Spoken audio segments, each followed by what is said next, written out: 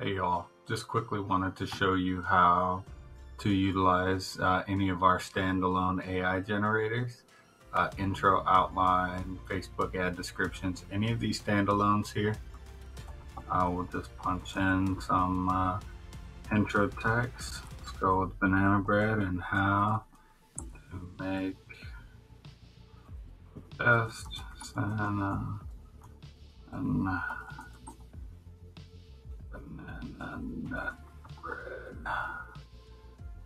Oh, uh, inputs matter.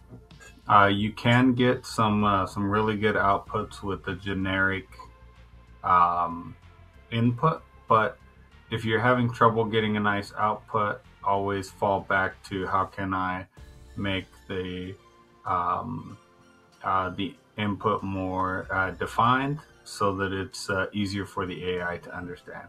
We've got some nice uh, outputs here on how to bake uh, uh, bake banana bread.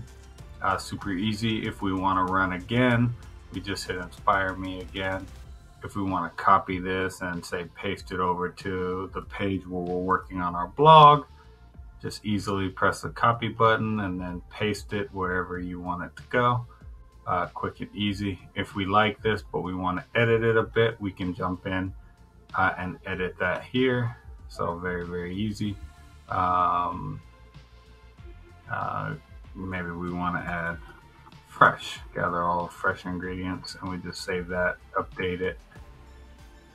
If we want to view our all of our saved uh, runs, then we just uh, we can click saved over here gives us a list of uh, which uh, generator we want to pull our saved from and we'll just go through uh, that way. So very, very easy uh, to use there.